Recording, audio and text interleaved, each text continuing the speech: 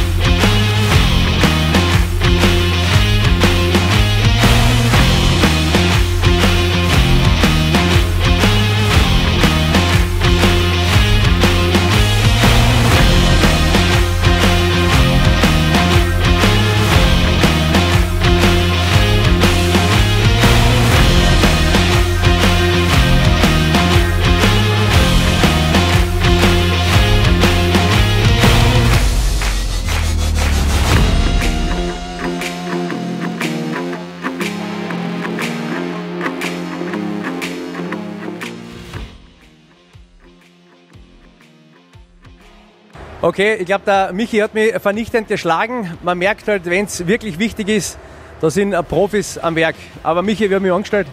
Ja, der eigentlich nicht so schlecht gepasst. Du fängst noch eigentlich an bei uns. Ja, Jobangebot hätte ich schon einmal. Antenne Kärnten.